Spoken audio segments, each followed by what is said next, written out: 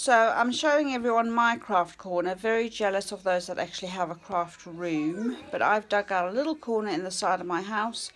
I can't put much here because unfortunately I have a little five-year-old that loves to steal my stuff. So I've got my happy planners and my laptop that I've jazzed up a bit. My printer, flowers, and then I've got the bits and pieces I can have out. So it would be a pencil case. I'd have some felt stickers for Easter because obviously everything's Easter themed. My favourite skinny washi. Some hearty tags. Now I'm very much into a camper van theme. As you can see I've got my little camper van there and my other one there that my son bought me. And these little pill boxes that I got from AliExpress look like little suitcases. So I've got paper clips and embellishments and all bits and pieces in there. In here I've got my cards I get from people, sayings I like, Erin Condren pencils that I won, my notebooks. I got my little happy notes. I got planner meet invites my late husband and me and I've got all my bits and pieces hidden at the back here so my five-year-old can hopefully not get to them.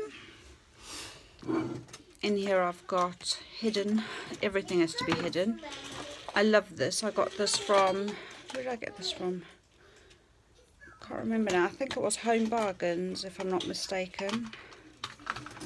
Look at that. Such a cute little which I know will be nabbed soon.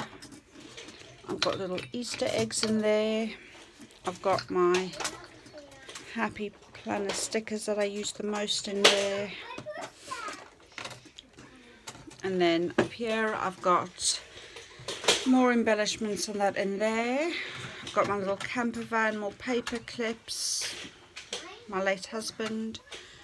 And then I've got little bits and pieces that we remember him by all my favourite planners that I use on a daily basis. Yes, I do use that many planners on a daily basis.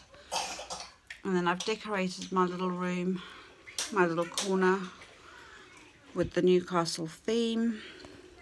And then I've got stuff we need to remember, which I've currently rubbed off because I'll need to do it for next week again.